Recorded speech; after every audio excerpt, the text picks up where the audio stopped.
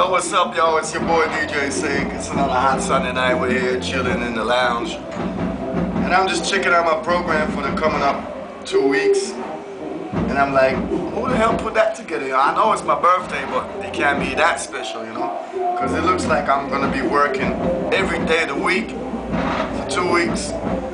I'm going to start out on Wednesday in Rome. And then Thursday I'm going to be in Switzerland. Friday I'm in Germany. Saturday in Spain. Sunday, I'm going to be in Belgium. Monday, Barcelona. As well as Tuesday, Wednesday, Thursday. Friday, I'm back in Belgium. I'm going to be in La Rocca, do a solo set all night long, just me. Then Saturday, I'm in Luxembourg.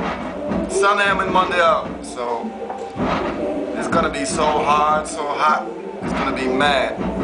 If you want to check out some previews and some pictures and some little videos of all the madness what's going down. You can do that. You can check that out on online on hotsundaynights.com slash blog.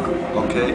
Also, myspace.com slash DJ Sake. That's myspace.com slash D-W-E-J-A-Y-S-A-K-E.